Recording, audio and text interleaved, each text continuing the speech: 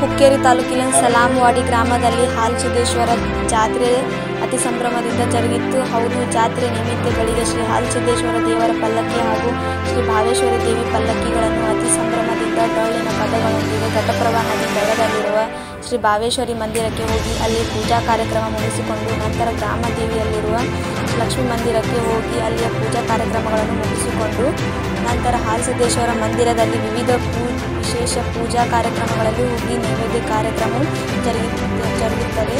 ನಂತರ ಸಾವಿರಾರು ಭಕ್ತರು ಸರತಿ ಸಾಲಲ್ಲಿ ನಿಂತು ದೇವರ ದರ್ಶನ ಪಡೆದು ನಂತರ ಮಹಾಪ್ರಸಾದ ಪಡೆದುಕೊಂಡರು. ನಂತರ ಕುದುರೆ ಗಾಡಿ ಬರಸು ಬರಸತ್ವಗಳು ಅತಿ ಸಂಭ್ರಮದಿಂದ ಜರುಗಿದವು.